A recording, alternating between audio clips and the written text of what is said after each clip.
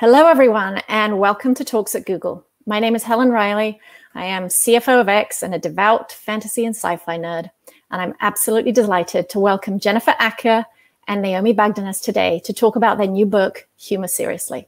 If you have any questions for Naomi or Jennifer, I encourage you to submit them since we will be taking audience questions later in the talk. And with that, let me introduce our two guests. Dr. Jennifer Aaker is general partner uh, General Atlantic Professor at the Stanford GSB and a leading expert on how purpose and meaning shape individual choices and how technology can positively impact well-being. Her work has been widely published in leading scientific journals and featured in The Economist, New York Times, Wall Street Journal, among others. And she's the co-author of several books, including the award-winning The Dragonfly Effect. A recipient of the Distinguished Scientific Achievement Award, Jennifer counts winning a dance-off in the early 1980s among her greatest feats. So welcome, Jennifer. Naomi Bagdonas is an experienced designer, executive advisor, and leading expert in the intersection of humor and business. She teaches at Stanford's GSB and facilitates interactive sessions for the boards and leadership teams of Fortune 100 companies and nonprofits. Versed in behavioral science, human perception, and professional comedy, she advises executives and celebrities on events ranging from appearances on Saturday Night Live and The Today Show to company all hands meetings and political campaign speeches. Her work has been featured in the New York Times, Wall Street Journal, Harvard Business Review, among others, and on her mother's fridge. In her spare time, Naomi runs a teaching program, a program teaching improv comedy in San Francisco's county jail and fosters a revolving door of rescue dogs whom she adores and who systematically destroy everything she owns. And with that, welcome, Naomi. Hello, wonderful to be here. Great to be here. Also, your accent makes us sound all very fancy and important. That's what everybody tells me. And with that, let's dive straight in. So, what prompted you to write this book. I read the book. I absolutely loved it. Um, but it's not it's a non-obvious topic. So I'd love to hear what prompted you to write it. Yeah. Well, Jennifer and I came to this body of work from very different angles, sort of opposite angles. So for me, I always grew up obsessed with humor and comedy. And I spent my career essentially straddling the worlds of business and improv comedy. And all the while, I sort of was keeping these worlds separate because I figured no one in the comedy world thought that working a corporate job was very cool, and no one in the corporate world thought that working, uh, you know, nights and weekends doing improv was going to be very impressive. Um, so I essentially realized in my mid 20s that I was totally leading a double life, that it was unsustainable, and I was pretty unhappy and not making friends at work. So I I personally started on this mission to merge those two selves, to have more fun at work, hopefully, um, you know, and hopefully be more successful as well. And through that, I realized, oh my gosh, humor is not just something that makes me feel more authentic, but it actually can be incredibly powerful for me at work. So that was my journey to this body of work. Jennifer's was kind of the opposite. Yes, not only did I not really ever think that humor was important, I always felt that humor was so I had no double life. Um, I had a single life and it was really it was just so focused, you know, on research and um and you know the work that I do. I'm obvious I you know, I have friends. Like it's not like I'm humorless, but certainly I never thought that humor was a really important thing. Uh, definitely not in work. Um, um, I started changing the way that I viewed humor and how important it might be, especially in a work context, but more generally, um, because I worked with um, many people who had leukemia about eight years ago. After uh, my husband and I wrote this book, The Dragonfly Effect, we ended up um, helping kids that had leukemia, trying to find matches in the bone marrow registry or outside the bone marrow registry for them. And in that process, just met a wide swath of uh, people. One of them was a guy named Amit Gupta, and he had leukemia. There was no match in the bone marrow registry for him. He needed to find one. But here's the thing he he used humor to do it. You know, his friends had this incredible sense of humor. They brought in comedians like Aziz Ansari and Chris Pratt at the time he was less of an actor and more of a comedian. And they would do psas to get people to be motivated to give a spit about cancer and um, and be put in the bone marrow registry. They would have bars you know you know parties where people you know they would bring their south asian friends and and have them give a spit and get into the bone marrow registry. So everything he approached was with levity. And he found a perfect match in a very short period of time and just through his actions and his approach of humor and levity to find um, a hopeful match for himself, he ended up finding a match for, I think, over 250 people in the year after he found a perfect match. So it just made me start reflecting on how humor can actually drive action. It can mobilize communities and it can shrink the distance between people so everyone can feel like they're on the same page. And that's what started me on my humor journey. Well, definitely, you both have very different approaches that brought you to this topic. Um, I have so many questions already for both of you, based on those based on those intros. So, Naomi, maybe if I can start with you. I know there's actually an extraordinary um, little story in the book about this sort of dual life effectively that you were leading and i think someone actually put a mirror up to you so i'd love to for you to sort of expand on that story but it also yeah. leads me to sort of the question of this like false dichotomy between gravity and levity because the reality is so many of us have been conditioned in our sort of early professional careers to actually separate um, these two sides of our lives partly because we've lived with this false impression that humor compromises whether we're taken seriously or not. When in reality, I think one of the things you say in the book is that it's the balance of the two is what gives power to both. So I'd love to hear about that story and then also hear your reflections on this. Yeah. This case, this is my horrifying realization um, about the kind of life that I was leading. And this was, um, I was maybe 24, 25. And remember, I was doing improv nights and weekends. I was having so much fun. And I was doing so well at my job, which was at a large consulting firm. I was sort of climbing the ranks faster than expected. And I, um, I just felt like I was really, you know, doing great at work. And uh, so I had this client named Bonnie. And Bonnie and I had been working together for months. We'd probably spent a hundred hours like side by side working together. And she knew me really, really well and it was a friday afternoon and you know we were sort of we were about to part ways and bantering and she said by the way naomi i uh, i bet i know exactly what you do with your friday nights which is objectively a weird thing for a client to say to you but again we had sort of grown close. So i um, i said okay bonnie what do you think i do with my friday nights? And she said well i bet that you go home uh, by yourself. You watch history channel documentaries uh, with your with your cat and um, and you re-iron your blouses for next week. Now, this is not a bad Friday night. This is fine. If anyone has this Friday night out there, that's awesome. This was just so backwards from my life. And and so it was this moment. Naomi irons, but she doesn't re-iron. Just want to be clear. I don't even iron. I steam. Why does anyone iron? Steaming is so much easier. Yeah, I just um it just wasn't my life. And she sort of, you know, I kind of poked, I, I pulled this out of her, and she basically told me that she didn't think I had a sense of humor. And so it was exactly what you said, Helen, where she held this mirror up to me and made me realize that the person who was showing up at work each day was not someone who my friends would recognize, was not someone who my family would recognize. I was doing, I was kicking butt at work, but I was just having absolutely no fun.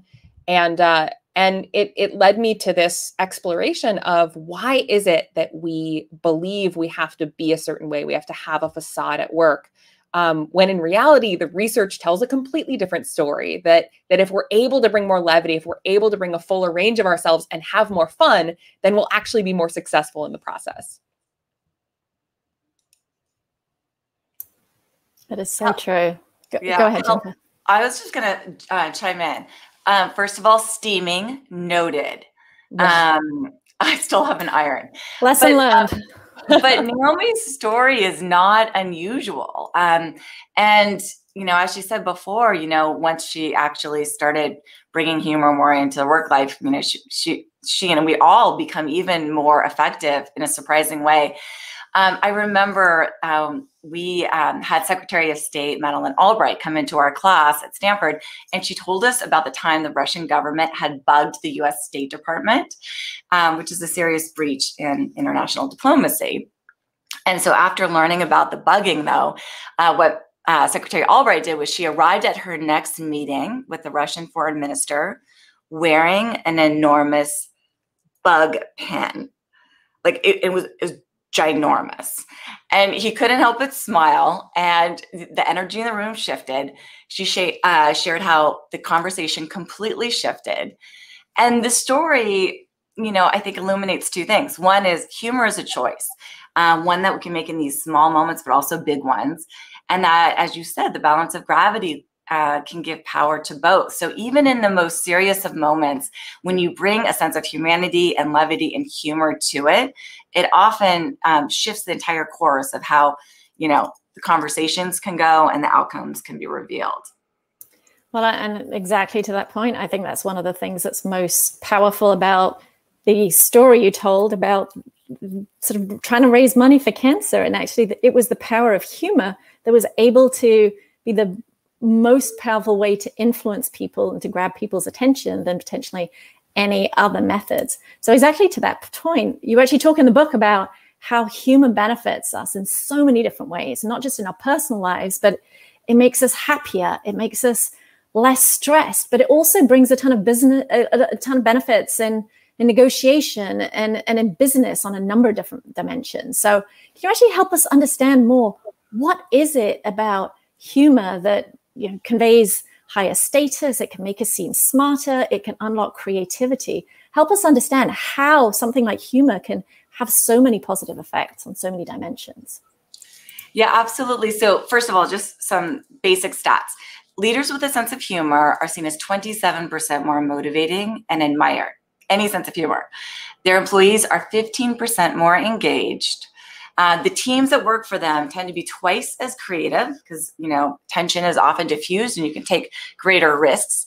And as you mentioned, they can even make more money. So in one of our favorite studies, um, the uh, researchers show that even adding a lighthearted line at the end of a sales pitch, like "My final offer is X," and I'll throw in my pet frog, makes people willing to pay nearly 20% more.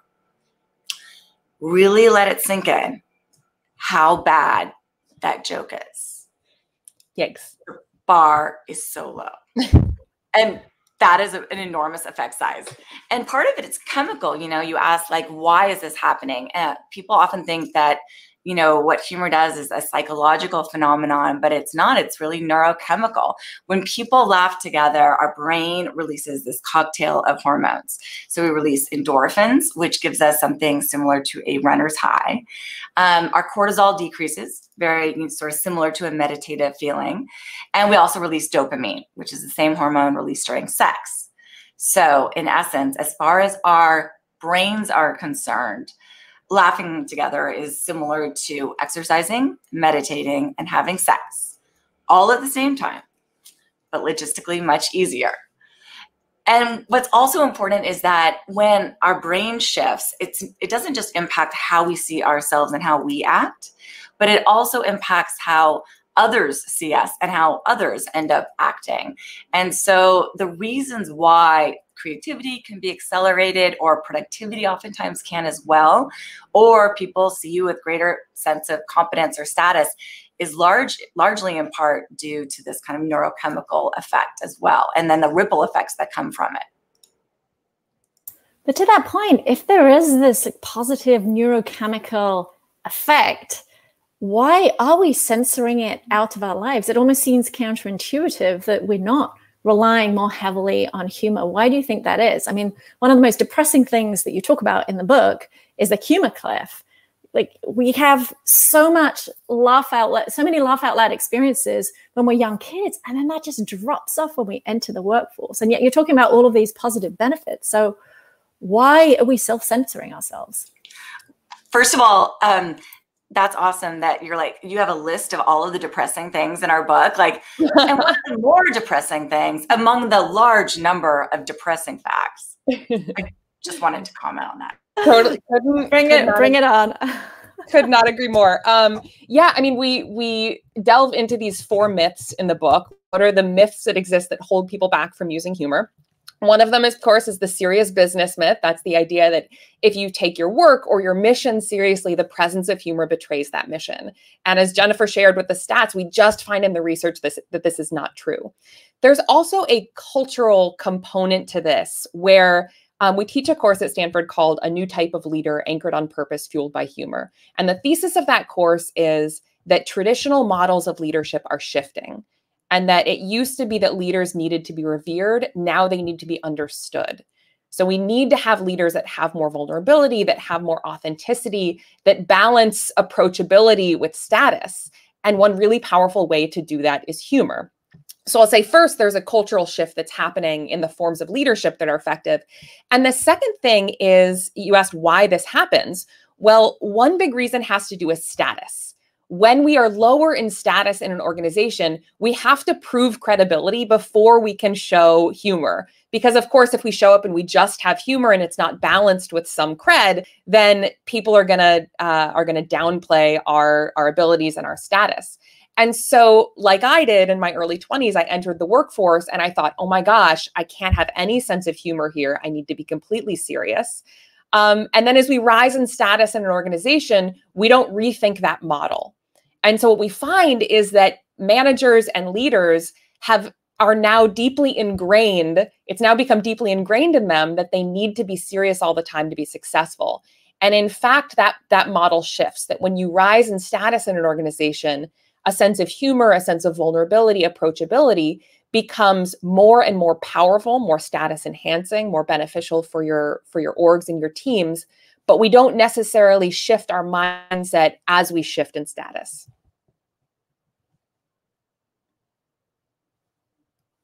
Yeah, that definitely resonates with with me. I think one of the things as you rise up through an organization is those competing sort of desires on the one hand to be taken seriously and credibly, but in as you put your sort of serious face forward, it also results in potentially less approachability. And I think that this is something that a lot of leaders, and particularly women, struggle with. Can you talk about ways, therefore, in which leaders can address some of these tensions that they feel to actually create more rapprochement with with the people that they work with and sort of increase that approachability? Totally. Oh, go ahead, Jennifer. Oh, you might you're muted. Muted. Um, so what you do is you first mute yourself, and then you start on a really impressive sort of. Actually, one of our um, dear friends and someone who teaches with us, uh, who is um, the co-CEO of a large nonprofit called Merit America, um, has used humor in very kind of similar ways. So, as a leader, just understanding it can be done in small easy, free, intentional ways, you know, just like I did, um, is is part of this. So um, Connor Demon he's the co-CEO of Merit America. He teaches with us, and you know, it, it, was about I don't know a year, year and a half ago, early 2020, uh, just weeks after the world went into quarantine, and he's leading his first virtual offsite with his entire organization, and people are exhausted and scared. It's tense so he's sharing a few slides, and before passing to a teammate to speak, he intentionally leaves his screen share on. And the entire team, thinking it's a mistake, watches as he closes down his PowerPoint. He opens up Google Chrome and he types in things inspirational CEOs say during hard times. And everyone laughs it's this beautiful moment and it had real upside for Connor because of all of the statistics we just shared with you. Not only shifted how they viewed him as, you know, actually greater in status, but also authentic, um, but it also empowered them to use humor and levity as well. So, one answer to the question is just knowing it's not necessarily about being funny per se. It's really about using humor in small, intentional ways at the right moment to diffuse tension, read the room. Um, Connor, uh, Naomi, what were you going to say with your mute? You were perfect. Oh, oh no, my um, my timed the timed lights in the office went out, so I had to grab pieces of tissue and throw them across the room so that the sensor would go off. So that's what I was doing. Got to reset that sensor. so if you see me just like frantically doing something like this, I'm just throwing tissues uh, over. And actually, what Naomi's doing right now, which was not planned, is like what another thing is just like calling. You know, as a leader, Parlor Bridge, just calling it right, just calling yeah. the truth because everyone's everyone's been in these situations, and so just calling it um, is another a second, you know, concrete little tip yeah well, maybe we can hear more of those uh, those tips like, as you said like i think a lot of people freak out about the idea that they need to be funny, you've worked with world renowned comedians on your journey to understanding what it means to be funny. Are there more tips that you can share with us about finding our funny?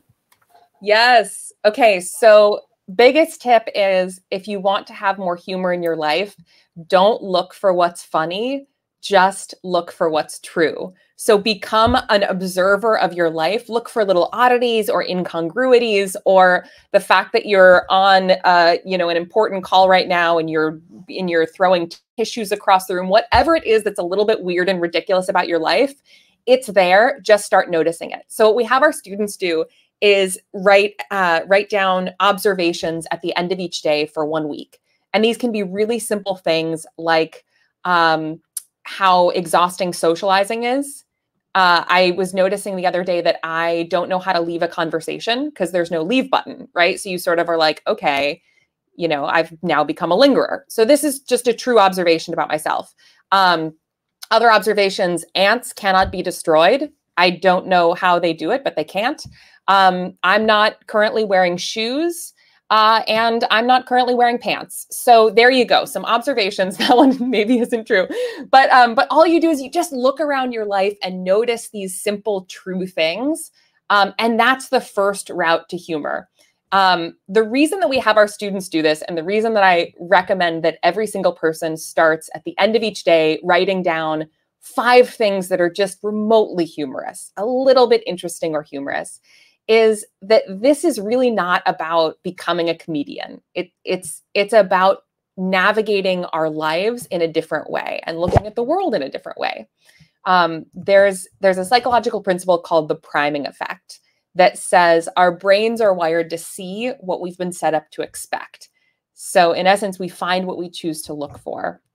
And when we navigate our lives on the precipice of a smile, um, instead of being frustrated by the tissue throwing, being a little bit delighted by it, you know, and sharing it with someone, then it changes the way we interact with the world and it changes the way that people interact back. So that's my single biggest tip is like write down observations that are interesting um, or a little bit, a little humorous. And Google has such a great, um, you know, sort of history of this too. You know, Sarah Cooper, who comes into our class, every year she um, was at Google, and a lot of the, the, the comedic work that she did also was kind of born of observations that she made, you know, in these in these large tech companies. Definitely. Um, one one topic we haven't touched on yet is the benefits to creativity of uh, of humor. So I know that you um, interviewed and worked with Astro Teller, who, of course, I work with really closely um, at X. And he actually talked about his bad idea brainstorms, which I participate in and absolutely love. But maybe you can tell us a little bit more about what makes these brainstorms such a powerful tool for unlocking new ideas. And I'd love, I mean, you interviewed so many leaders. It'd be really helpful for us to hear more about other best practices from other leaders that we can all benefit from. Sure. So, a quick anecdote about Astro. Um, and you know, he's such an intuitive, you know, scientist um, at you know unlocking and and leading with some of the basic premises of the class. It was just a joy um, to kind of observe him. But you know, he would comment on things like, you know, if he you know, would tell the group, um, you know, go brainstorm good ideas, for example, people would think, oh my God, you know, everything I need to say has to be perfect or at least good. And even just using the word good puts limits on the way his, you know, team would think. But if he said, this is a bad idea, brainstorm, and the silliest, stupidest ideas, are fantastic. That is, in fact, the goal. People would come up with these crazier and often better solutions. Um, and these brainstorms would, would have often ludicrous ideas, but oftentimes those were the ones that actually made it in. And part of this is just you know, diffusing pressure, making it okay to be normal, and um, and that would unlock these more creative selves. A small anecdote: Naomi and I took this to an extreme when we started working on our our book proposal. We cut, um, inspired by Astro, we called it a really shitty book proposal. You know, just to like lower the bar, and then. Um, as context, it's like it's kind of intimidating to write a book proposal. It's got to be 50 pages long and you start with a blank page. I mean, it's yeah. So we were really intimidated. And then until this. Well, but that's definitely going to get people's attention. We did. We kept it on. We kept the title on. And then the book took off and the rest is history. So I think the moral of this story is bad idea brainstorms and really shitty drafts are the way to go the the small hiccup here is so Jennifer and I, you know, we had a we had a Google Doc that we wrote our entire proposal. We actually wrote our entire uh, book in a Google Doc, and so we had this Google Doc, and just internally, we're like, you know what? Let's call it a really shitty proposal, and it'll lower the bar for ourselves. We'll make it fun. Well, when we shared the proposal with our agent, we forgot to retitle the document because we just shared the Google Doc. And so our agent gets this proposal entitled A Really Shitty Proposal. And she's like, uh, okay. Turns out she loved it so much and she thought it was funny that she submitted it to the publishers with the title A Really Shitty Proposal. And our book got, you know, eventually picked up by a publisher with that title. So that was how a totally ridiculous inside joke turned into us selling a book. I absolutely love that idea. Did you worry at all that it might backfire though? Like, how do you juggle that? That fear of like, on the one hand, it is absolutely hysterical what you just described, but at the same time, people can look at it and think, what are they thinking? I think the humor actually, you know, attracts like-minded people. So, for example, um, the publisher we worked with, she had the same instincts. And then she encouraged us, definitely supported us. It became a really shitty chapter one, a really shitty chapter two, a really shitty chapter three. And I think um, humor bonds people, right? We never even met her, but she thought it was actually funny. And that, um, you know, it shrinks the distance between two people. Um, these inside jokes or these similar ways of viewing the world.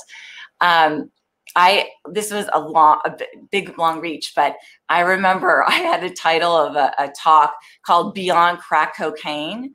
and Andy Behrendt at Google found it. He's like, we we must have this at Google. So like, you know, if it was like on happiness and productivity, it wouldn't have gotten any attention. But beyond crack cocaine was helpful. Um, yeah. So we're very inspired by Astro and and what what you know Google has done and X and and yeah. many of the things that you you practice, Helen. Yeah, absolutely. Well, I you you've talked a little bit about sort of leaders and what they can do to to bring humor into their lives. It makes them more approachable. It just makes them more respected as leaders. But Naomi, you have hosted a fabulous workshop um, at X with my team, and there were some great suggestions and tips for anybody to just to bring more humor into their lives and into their working environment. Um, and actually, you know, some of my teams now begin their meetings with a haiku and, you know, accompanied by some very creative and often self-deprecatory um, memes. Can you talk more about sort of other tips that you can share with everybody who's on this call, just about how we can be more proactive and make that choice, as you said earlier, of bringing more humor into our lives more generally and into our work lives specifically? Totally. So there are all these small hacks that um, that our former students have come back and said are are really meaningful to them. One of them is so small, and it is what word you use to sign off your emails. So Helen, before uh, what what did you use to sign off your emails before we came and spoke at at X?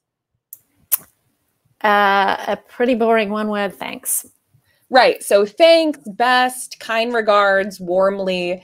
And so people kind of skim over them and don't even notice them. One really simple hack is sign off your um, your emails with anything but. So you could sign off with, you know, throwing tissues to activate the light sensor. You could sign off with pet frogs or, you know, with levity and Lysol or whatever it is that's relevant to especially you and your relationship with the person um, and it completely changes the dynamic. So, everyone who's listening right now, the next email you send, I want you to sign off with anything lighthearted.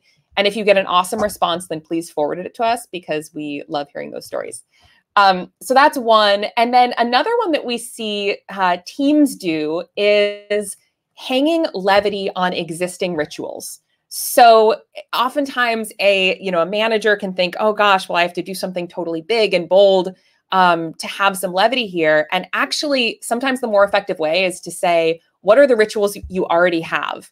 Um, are there team communication channels? Are there all hands or daily stand up meetings? And how do you bake a little bit of humor into those? So, um, so at Merit America, for example, um, they at the beginning of every all hands meeting, they spotlight two employees and they ask them to do two truths and a lie with everyone. And so it's a great way to get to know them, to get to know, um, you know, some details about them, and um, and it just sort of is a lighthearted way to start the meetings.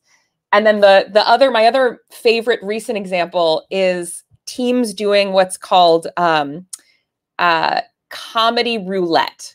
So in comedy roulette, every member of the team submits a two minute uh, video, work appropriate video, to uh, to a person who's compiling them and then at the beginning of every meeting, for, you know, until they run out of videos, the person plays one of those videos and everyone has to guess who submitted that video. And so it's this really fun way to get to know each other's humor styles and to have humor without it feeling so high stakes where someone needs to be funny. So those are just a couple examples, a couple of hacks and ways that other people are doing it. But um, but I think the main thing is figure out what feels authentic to you and your team and just start prioritizing it. And Helen, can we ask you a question? Um, of course, you can't say no.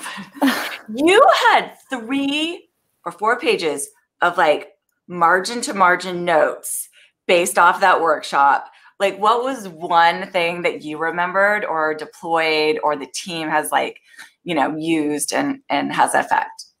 Yeah, no, I, I actually pulled my team like what actually stuck in their their minds. I mean, there's two or three things that I do whenever I'm sending notes to my team. They used to be very dry and boring and sort of very sort of factual and summarizing a topic. And now I've just inserted memes and just fun pictures. And it just, as the first thing that they see before they even read, just to sort of shake things up. And I've been very creatively coming up with haiku and or like six word stories for things and just inserting them. And honestly, it's just, it completely changes the tone. And I also think it's changed people's perceptions of me as a leader as well. So I have to say that the workshop was incredibly valuable. And I certainly encourage others to spend time with um, Naomi and, uh, and Jennifer. I think another example is, um, you know, I was reading your bios. It's kind of kind of cool that like your biggest you know, one of your biggest feats that you remember from your life, Jennifer, is uh, a dance off in the 80s. And Naomi, it sounds like your house is getting totally destroyed by dogs. I think that's another right. great tip, which I know stuck in the minds of so many of my team, just to add that one liner, which is such a huge differentiating factor if you're applying for a job or if you're just whatever it is that you're trying to do um, mm. just to differentiate yourself and just inject a little bit of fun. So actually lots of things stick. And I did promise you I'd send that list. So I have compiled it and I will send it over to you. Um, but on that point, like I'd love to hear more ideas. You know, I work, I have the privilege of working really closely with Ed Catmull from um, from Pixar, and he's now um, works with us at at X. Um, and there's lots of great uh, stories that you talk about from Pixar, but you know, taking it a little further, like people playing pranks on one another. But, you know, I, I guess there's two, two, parts to this question. First of all, I'd love to hear more of those examples, like why they worked so well mm. um, at mm. Pixar. But secondly, how do you actually make sure that you're not crossing over into sort of a gray area where, because humor fails are also very real. And so I'd love to hear your perspective on that too. Yeah, um, on the Pixar thing, first we were so blessed. Um, Ed Catmull, the former president of Pixar, he um, he not only um, wrote our foreword, but he also titled our book. Naomi was having dinner with him um, a couple years ago, and I think we were going to call it "Humor is Serious Business" or something like our class. And he's like, "Humor, seriously," just like you know, seamlessly, and boom, there was the title. But you know, he really describes um, in the forward of the book, especially just how important it was not just to have these pranks and these moments of levity at Pixar, but um, how important it was for him to actually endorse them and and be involved in them. You know, there were so many difficult and serious financial and cultural problems that he was facing. And in those moments, he says that those were the exact times where what he said as a leader didn't matter. You know, those just, you know, those words just washed over everyone. But what people grabbed onto was how he behaved. Um, and that means a few things for him. For one, it meant, you know, admitting failures and taking actions that really demonstrated real values um, but also doing so with this healthy dose of humor. Um, and that would also, you know, create this, you know, perspective, um, you know, garner empathy, and and I think just put the mistakes that were made or the challenges they had in this bigger context. And he found it um, to be so important that he, I think, also said, you know, when you bring humor to the most dire of situations, most challenging um, parts of the job, you actually create greater meaning at work as well.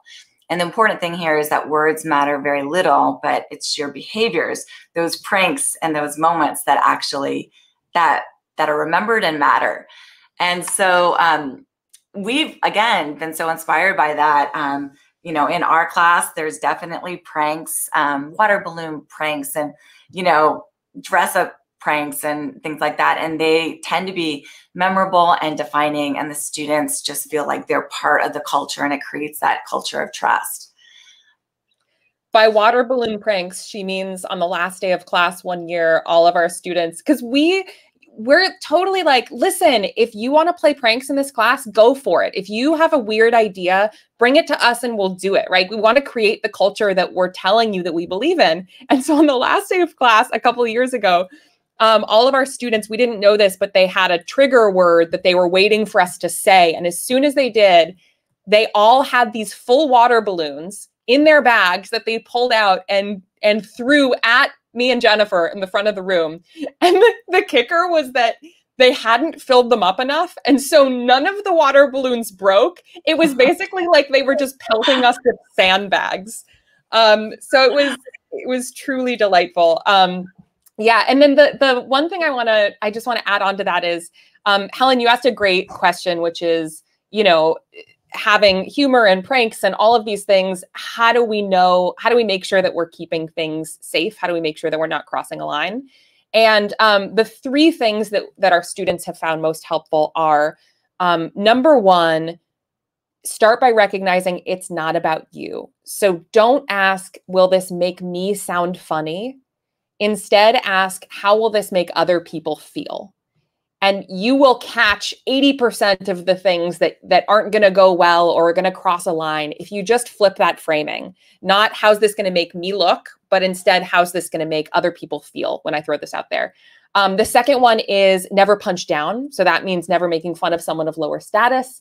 And of course this means that as you rise in status in an organization your playing field changes. So this is why we see some leaders getting into trouble making jokes that maybe would have worked when they were junior um, you know, poking fun at someone who is more senior but might not work when they're the leader. And then the third thing is check your distance. So, how close are you personally to what you're making light of? Um, you know, I can make fun of my mother, but not Jennifer's mother who I hear is wonderful. She is a saint. Thank you for knowing that but you know checking your personal distance to what you're making light of and and just making sure that you have the personal lived experience to be making light of that thing. So you've you've described a lot a little bit about what it's like um, in the class. I'm actually really curious like how did you persuade stanford graduate school of business to actually be okay with a class on humor and how do you grade your students especially if they're pelting you with uh, water bombs? Well they all fail. If they do really good water balloons then they pass. But you know when the water balloons are not filled up. Um, so stanford's incredibly entrepreneurial and um, and we just got a great set of deans that really are very open to proposals and you know for in this case it just really came down to the research which is clear on three things. First, you know, humor has this transformative effect on both our behavior and our psychology. Um, our mental health, which has been on the decline, um, not just in the last couple years, but also more generally. Um, is something to really be thinking about systematically and thoughtfully. Not to mention creativity and productivity and feelings of closeness with others. Um, and humor is really this this you know secret weapon that that fuels all of these things. And we're not studying the science of it. Second, it's completely under leveraged at work. As Naomi mentioned, a lot of people that used to use humor, maybe when there were lower levels of status, now feel like they can't. And in the culture um, that we're living in, often find that we're living in a humorless world. And it's just not true. Um, just better understanding that we all have different humor styles. It's not like you're either funny or you're not. Everyone has a different humor style. And when you understand everyone's humor styles, not to mention your own, and you understand the advantages of each style and the risks associated with each style, you can start to navigate the world in really pretty nimble, um, adept ways. Um, so our workplaces don't need to be so humorless. And then third, it's a teachable skill. You know, most people believe that, you know, you're either humorous or you're not. Untrue. It's a teachable skill. And these small shifts in behavior and attitude are sufficient to to shift the way people not just experience work but but life so that was compelling i guess and they said yes and how are you grading them well you know there's the water balloon um, quality as well. But no actually there's a lot of things that we do um, in our class that are highly quantitative and experiential. And you know we don't we, we really don't go um, into like you know why you passed or failed. We we kind of grade on a on a pass fail basis. It's but it but what's surprising about it is a how many hours they put in to each quarter. So we always monitor hours you know invested in homework and the readings and the videos and all of that. And our students are operating at you know ex- surprisingly high levels just in terms of investment um, in the class and what they seem to get out of it. and credit that they get they get the same credit as um, for a class about humor as they do for financial accounting. So that's you know i love that that's fantastic all right i think we're going to open it up for some uh, audience questions great all right, here we go. So, our first question from Molly How do you encourage people to develop, manifest their senses of humor in large, diverse, global environments like Google, where different people or groups have very different conceptions of what is funny? Love so, that question. Yes. You go first, Naomi. Um, the jokes are not universal, laughter is universal. And so instead of going for jokes, um, go for little moments of levity where you show a bit a broader range of yourself. Um, yeah it, there there's this idea that laughter is a fundamental melody of human conversation. You know like we all we all recognize it. We all want to jump in and sing the tune when we hear it. Um, and so that can be really effective. Tactically what we tell people to do especially when they're working um, across cultures is to get to know the humor style of the culture that you're working with. So we have one manager we work with who does um, quite a bit of work in Singapore. And what this woman chose to do was she reached out to her local Singapore team and she said, I want everyone from the team to submit either a meme or a video or just something that you find funny. And then she took those uh, those examples of humor, and during her team meetings, she would use their examples of humor during her presentation. So rather than imposing on them, this is what I think is funny, she was sort of saying, Hey, I hear you, and I want to understand your sense of humor and bringing that to light um, during, you know, during meetings. Yeah, and the only thing I'll add is, you know, a lot of the um, the different executives or students we work with, they'll find that when they understand their humor style, so they'll, you know, if there's the stand up and then there's the magnet and the sniper and the sweetheart. There's four different styles. And so if you want to understand your style, you just go to humorseriously.com, fill out a two minute quiz, and it reports back this report. And then they have their teams do it and they share out the results. And all of a sudden, you start to realize, oh, Naomi, she is a magnet, which is more charismatic, sometimes a little silly, a little goofy, lights up a room when they enter in.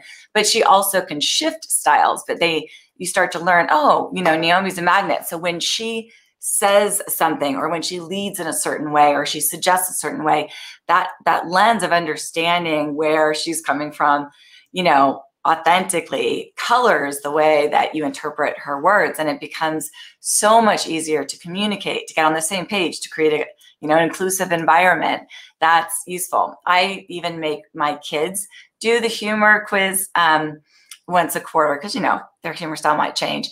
And it's really been transformative even from a family perspective just understanding what makes you laugh what is your style and what is the style of others around you. And what's your style jennifer? I've always been a sniper but i had a, a significant humor fail especially earlier on. Um, um, well, a couple times in my life, they're scarring, right? Helen, like if you've ever like bombed and offended someone, it, it can stay with you. And that's what happened to me um, early on. And so I just really shifted to a sweetheart, which is more understated and honest and more inclusive. And it's less about sort of you and more about the others. It's not necessarily known as being funny. Um, it's a very different, you know, kind of humor style, but it's one that's really effective um, when you have higher levels of status too. Well, you and me both. I took the quiz and I was squarely in the sweetheart camp. Okay, let's bring up another audience question. Okay, from Teddy. When humor is met with crickets, what do you do next? I just want to say I love the vulnerability of this question. My humor is met with, with, crickets frequently.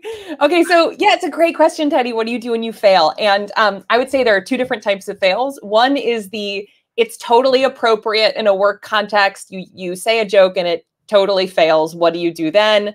Um, the most effective thing oftentimes is to lean in and just name it. So say something like, "Well, that didn't work," or you know, "Thanks, I'll be here all day." Just naming the fact that you didn't get a laugh will often cut the tension enough to get a laugh, or at least or at least show your self awareness that you know that that didn't quite go well.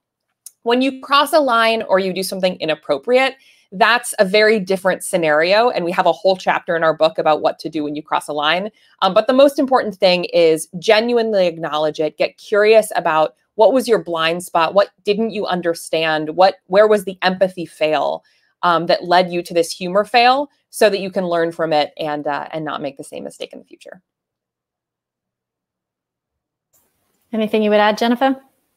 Um, no, I thought that was fantastic. It is such an important question, though. Um, we have a couple different frameworks to think about, you know, truth, pain, distance. Like, you know, as you analyze why there might have been crickets or some uncomfortability, you know, you can analyze it, you know, from this, like, you know, was it too soon or was I not, you know, close enough to the subject um, of which I was making fun of?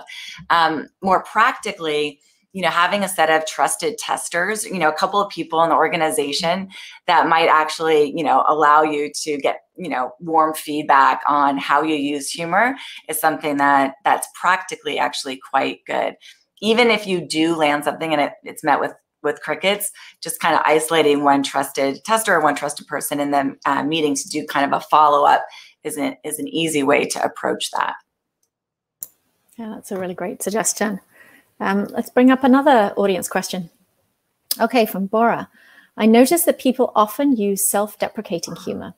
Does this type of humor have the same positive effects that you've mentioned, or is it counterproductive? Love this question. This is both, both, yeah. Um, so this is such a great question, and it it relates to Helen what you brought up earlier, which is women leaders in particular can sometimes hold back their humor.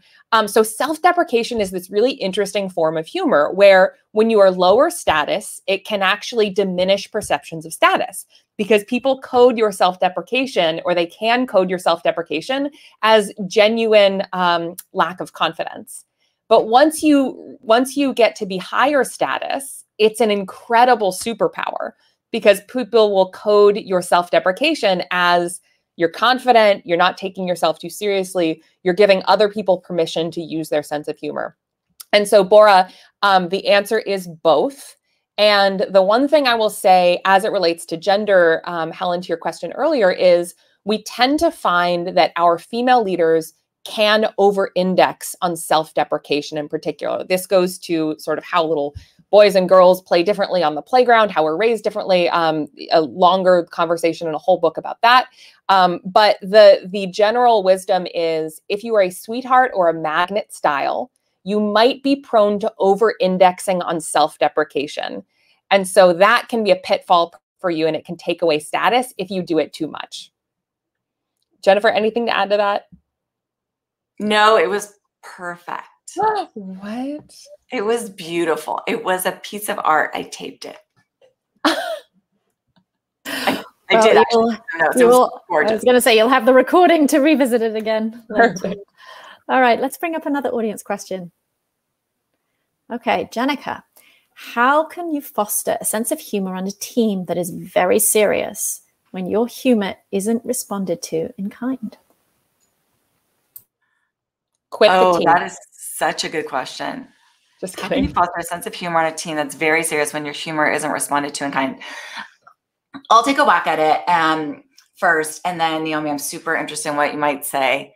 I'm going to go with, um, you know, just getting on the same. You know, first, this is not about you know being funny. It's not about even humor at some level. It's first about trust, right? And how do you create that trust in the team, especially if you're going to start playing with humor?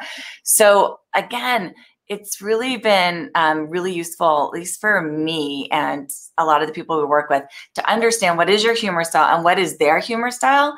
Because, for example, snipers, you know, they're they tend to be really smart.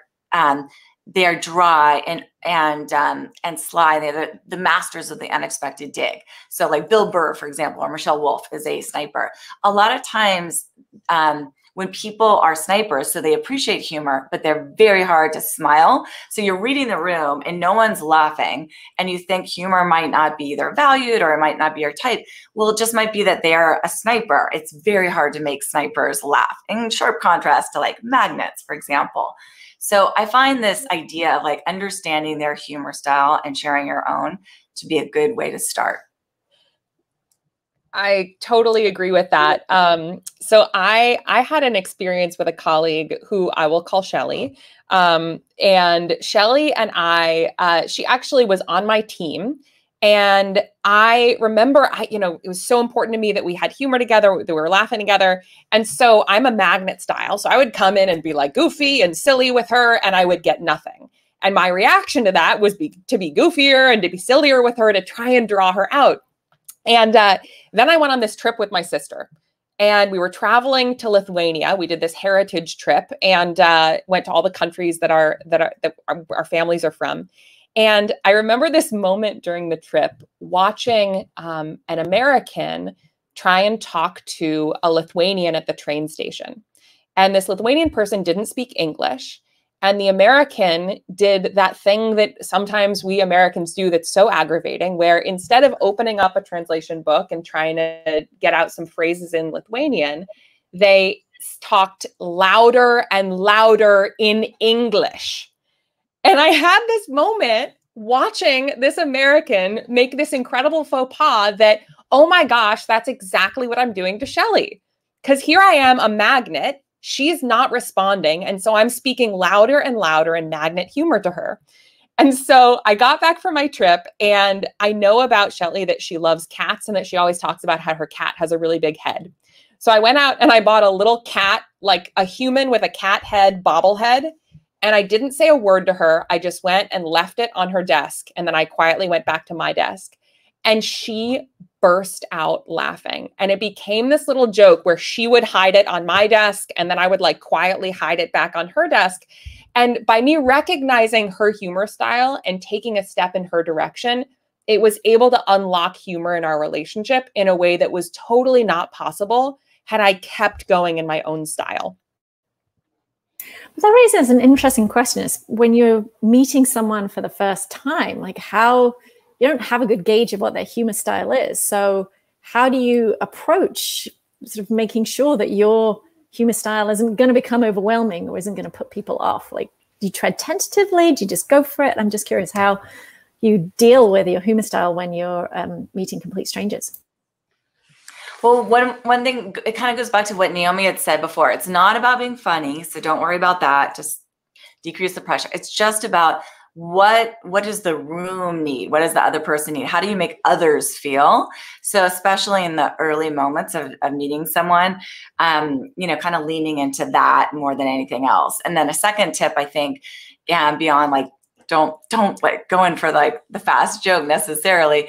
It's just about being more human. So thinking about secretary albright you know wearing a bug which kind of invites a conversation. It's not in your face. Um, that's the second way of thinking about it Oh, that's helpful. All right, I think we have one more audience question. All right, from Amanda. What if you get feedback that your humor is more of a distraction than help? Then you might be a magnet style. Buy a cat bobblehead. There you go.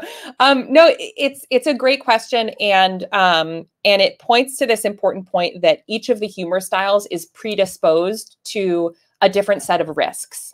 And so self awareness around your humor style can help you mitigate that kind of feedback. So, for example, I know as a magnet that I can over index on silliness, on goofiness, and that I can get feedback that that's detrimental to, you know, the goals of the session if I do it too much. Um, you know, each of those styles has upsides and has potential downsides, which we don't have time to go into all of them right now. Um, but I would guess, Amanda, that that might you might find yourself a magnet if that is an issue for you. Um, and it's just really about recognizing what are your strengths, what are your pitfalls, and recalibrating based on the context. All right. Well, I would thank the audience for the questions that they put forward. I think we've got three or four minutes left. So I'd love to just get into some rapid fire questions um, to end. So, Schitt's Creek or Ted Lasso? Ted Lasso. Ted Lasso. All right, that was pretty definitive. I haven't seen it yet, but I'm a big fan of Schitt's Creek. Oh All right, favorite. God. I know I've got to get Apple TV.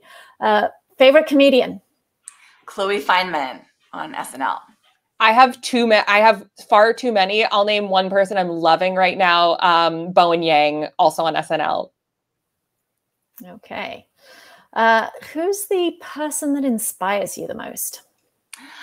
Leslie Blodgett is a dear friend and complete inspiration. Um, I know this is lightning rounds. I won't go into details. Um, again, too many people to name, but someone who I met recently, um, Hrishikesh Hirway, who creates um, Song Exploder and has an incredible, incredible TED Talk that will be coming out soon um, about how we can listen to each other more fully and more compassionately. Okay. Where is your favorite place to think? Um, so it's not so much a place as much as it is a, uh, a position. So I can think really well laying down, looking up at the sky, or looking up in general. So laying down anywhere. Uh, for me, in the backcountry, I go on two uh, big backpacking trips a year, totally out of service, um, and I do my best thinking there. All right, clean desk or messy desk? Obsessively clean.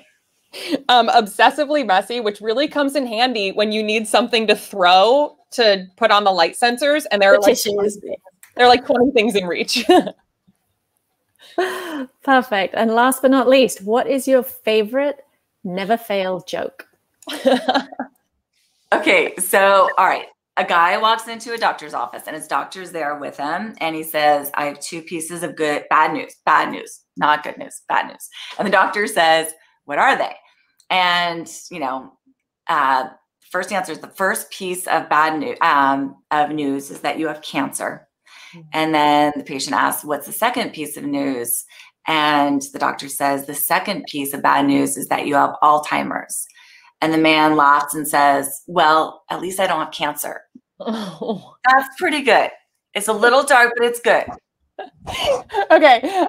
Um, mine is participatory, um, and it's actually like pretty serious. Um, so if everyone could participate, that'd be great. Okay, so I want everyone to point up to the ceiling and make a circle with your finger as if you're drawing a perfect circle on the ceiling and go faster and faster. Yep, everyone's doing great as fast as you can. Knock, knock. Everyone's going to need to be off mute for this. Who's there? Who's there? Who's there? Uh, woo. Woohoo. Woohoo, we did it. Good talk, everyone. Way to go. My deepest apologies for that. Thank you for being game. Happy to participate anytime. And with that, thank you both so much. Thank you, Jennifer. Thank you, Naomi. Fabulous talk. I really enjoyed it.